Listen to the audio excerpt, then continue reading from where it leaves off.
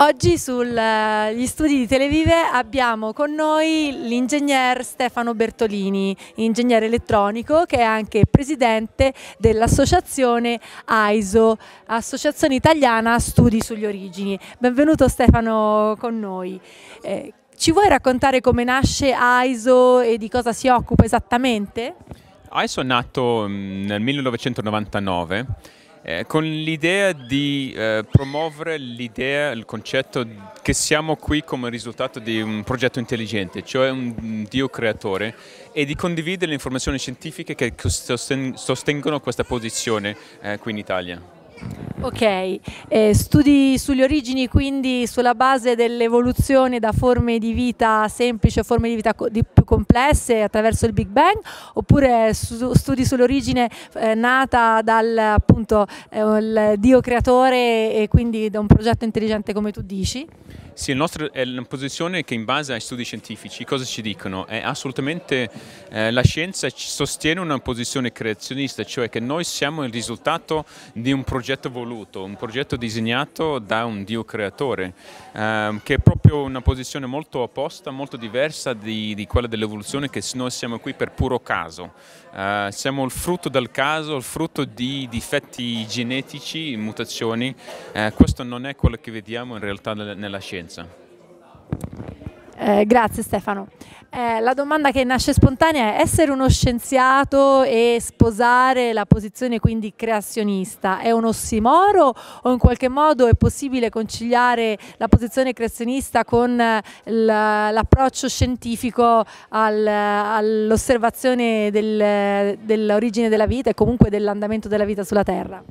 Questa è una bella domanda, eh, la sento mm, abbastanza spesso che tanti dicono non è possibile essere un scienziato se credi in creazione. Cioè se credi in, creazione in automatico sei ignorante, eh, non può essere scienziato perché qualsiasi bravo scienziato eh, può solo prendere una posizione evoluzionista. E questo lo sento spesso, e questo è un peccato perché questo veramente non è un, una giusta posizione scientifica. Cos'è la scienza? La scienza è un studio, un studio di tanti argomenti dove si prendono o si arrivano a delle conclusioni in base, in base ai fatti, eh, non, non, non viceversa e vediamo tantissimi scienziati in tutto il mondo, anche i primi nei vari campi, nella genetica, geologia, eh, vari campi, che sono proprio i primi nel loro campo, che sono creazionisti. Perciò per me la scienza è una posizione di fede vanno perfettamente bene insieme. Uh, infatti la cosa interessante è che la scienza veramente è, è cresciuta fra i grandi scienziati come Newton, come Pasteur uh, e, e tutti questi grandi scienziati che erano tutti credenti erano tutti creazionisti, perciò chi può dirmi che non è possibile essere un, un scienziato che crede in Dio? Questo non è possibile, uh, perché la realtà è, essendo, um, credendo in Dio, credendo che un Dio creato delle leggi, c'è più motivo per studiare queste leggi. E perciò assolutamente è possibile, eh, è, si può essere in completa armonia, essere credente in un Dio creatore e essere un bravo e un buon scienziato. Grazie, ma adesso la prossima domanda è man mano appunto che la, la ricerca dell'uomo avanza nell'ambito scientifico e quindi eh, la posizione evoluzionista in qualche modo viene rafforzata dalle prove scientifiche, quindi dalle nuove scoperte, oppure secondo te è stata indebolita negli anni? In questo campo vedo un, un netto cambiamento nel, nella posizione di molti scienziati. Non solo vediamo tanti scienziati che sono uh, molto conosciuti nel mondo che hanno cambiato la loro posizione. Uh, un classico esempio sarebbe um, Anthony Flew, il noto ateo, numero un, uno ateo in tutto il mondo che recentemente negli ultimi anni, eh, in base a un, uh, un ragionamento filosofico, è arrivato alla conclusione che aveva sbagliato la sua posizione, che adesso crede un Dio creatore. Infatti ha scritto un libro che tradotto in italiano eh, si chiama Dio esiste. Eh, un altro esempio è il, ehm, il, il, dottor John Sanford, che era uno dei massimi eh, scienziati sulla genetica. Lui è uno di, di, quelli che ha inventato la pistola del gene per modificare geneticamente gli organismi in base a un studio della genetica di tutta la vita dove ha avuto questi piccoli dubbi, però ha detto no, non è possibile, perché tutti i grandi, eh, scien- scienzi, i grandi eh, genetisti dicono l'evoluzione, evoluzione, alla fine della sua carriera è arrivato alla posizione di dire no, non posso ignorare i fatti, non posso ignorare l'evidenza, perché l'evoluzione non sostiene quello che osservava in un studio della genetica. E così lui ha dovuto cambiare posizione. E vedo sempre più uh, scienziati che cambiano questa posizione in base a un studio scientifico dei fatti.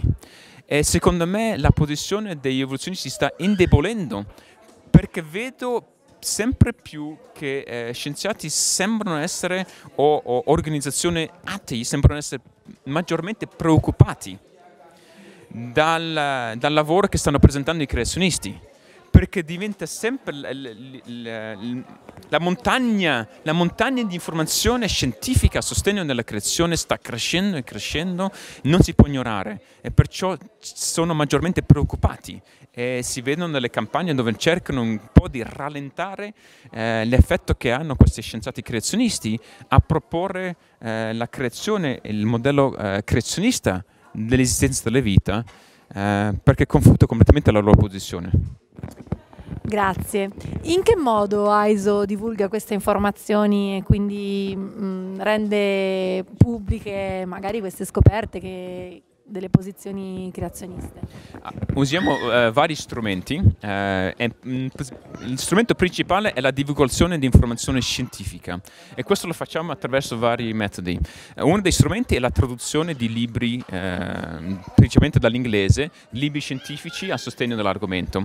noi pubblichiamo regolarmente sul nostro sito dei articoli scientifici su vari argomenti.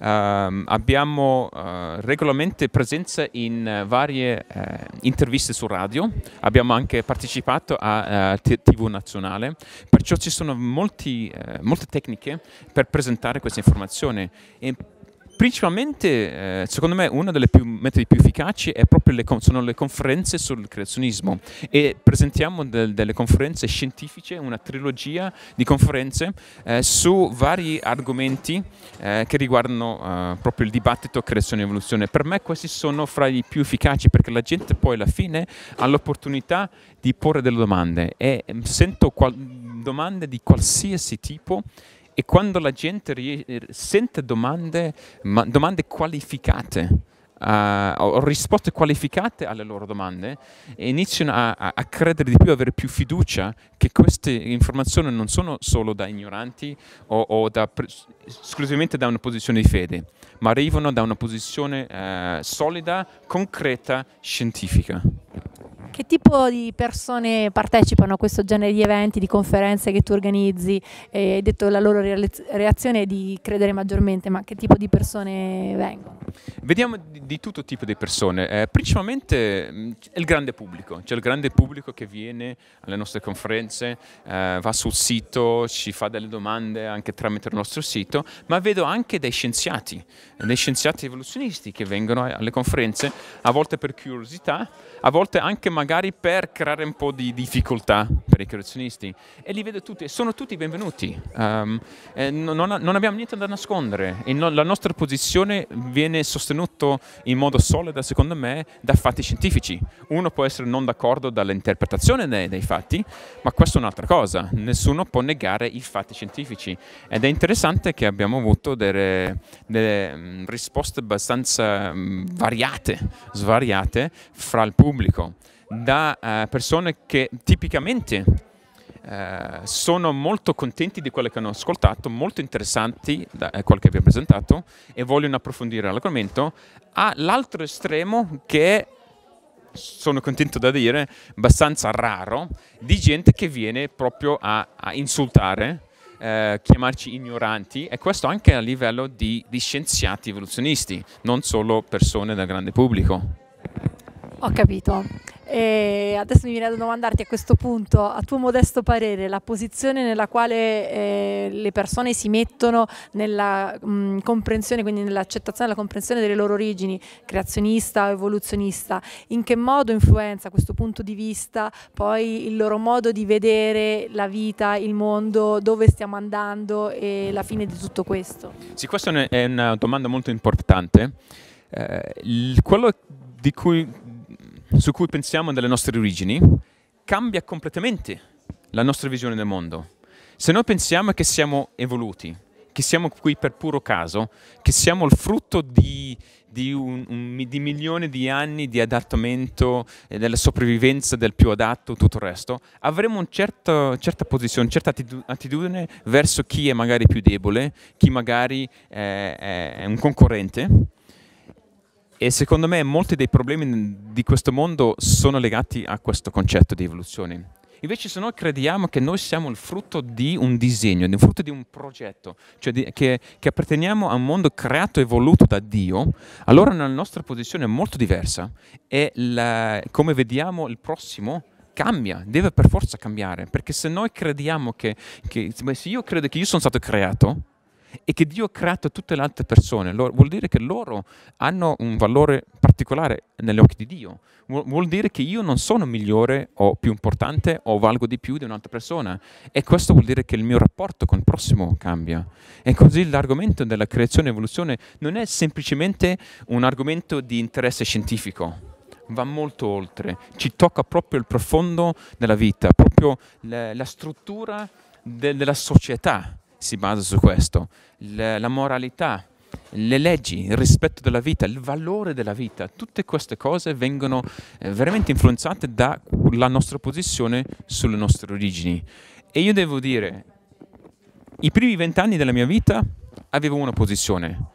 In base al studio della scienza ho dovuto cambiare la mia posizione e vedo un mondo molto più bello in quel senso adesso rispetto a prima. Perché se io credo nell'evoluzione, come dichiarano molti, molti atei come Richard uh, Dawkins, se uno è ateo non c'è scopo nella vita, non c'è speranza di qualcosa di meglio.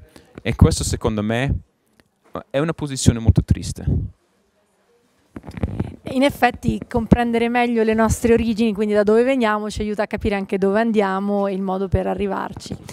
Ti ringrazio Stefano. Se qualcuno volesse avere maggiori informazioni sulle vostre attività o addirittura invitarvi o seguire il vostro sito eh, per appunto acquistare alcuni dei vostri libri, qualcosa di questo genere, come potrebbe rintracciarvi? Ci vuoi dare qualche riferimento? Il nostro sito, eh, che è completamente in italiano, eh, è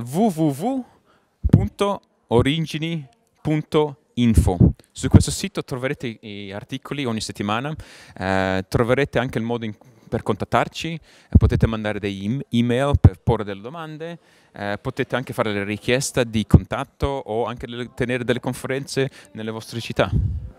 Benissimo, ti ringrazio e buon lavoro, Grazie. che il Signore vi benedica.